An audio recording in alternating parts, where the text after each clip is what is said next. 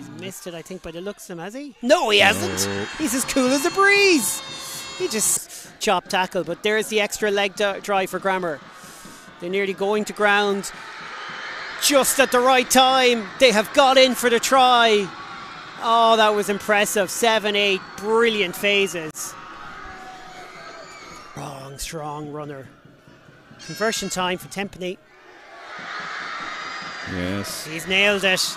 And it's another pick and go chance. Go back against the grain to try and catch out Grammar, and it doesn't work. That said, now the ball's out to the back line. The overlap is on. The try is on. They could get in the corner. There's a brilliant tackle out there from Grammar. They've saved a certain try. Oh, that's a fantastic. Time in the Grammar 22 in the last three or four minutes. Repelled once, held up once to be more precise than repelled. Akinowi's going for it, and. Otega has got in. That's an excellent try. It was Egan who made the break initially. There's a brilliant conversion as well.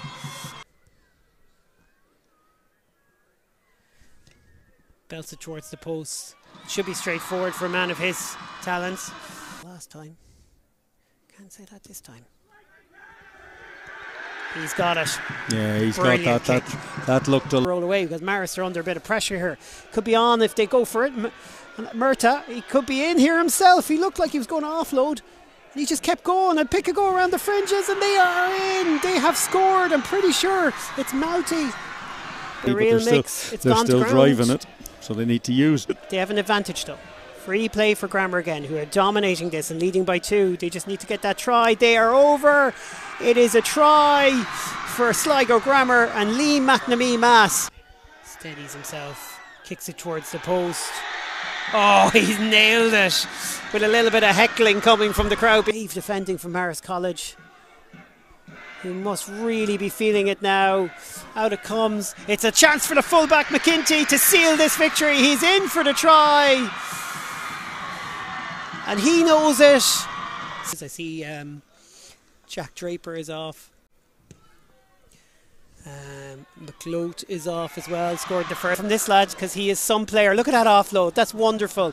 Marist deserve a try. Can they finish with one? They're almost in, but they're stopped short. Another pass will do it. This is the moment. They are going to get in for the try. Well, they deserve that.